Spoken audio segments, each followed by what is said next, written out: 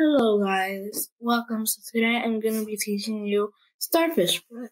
Starfish breath is simple, helps you with any stress, anxiety, or anything like that. So what you want to do is you want to take your hand, um, one hand, then the other one you want your pointer finger. And as you breathe in, you want to go up, and when you breathe out, down. So let's try it. Up, down, up, down.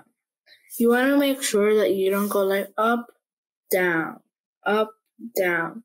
You don't want to go fast because that could make you like lose your breath sometimes by going fast. Hey guys, today I'm going to teach you teach you how to do starfish breathing. Ready? Breathe in. Breathe out. Breathe in. Breathe out. Breathe in. Breathe out. Breathe in. Breathe out. Breathe in.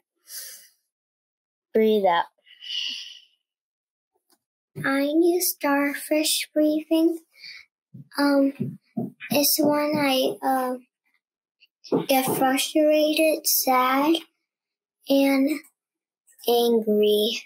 I just want to say a big thank you to my SEL teacher, Mrs. Texler. Um, if you watch this, Mrs. Texler, thank you so much for teaching me this. It it could change others' lives with breathing.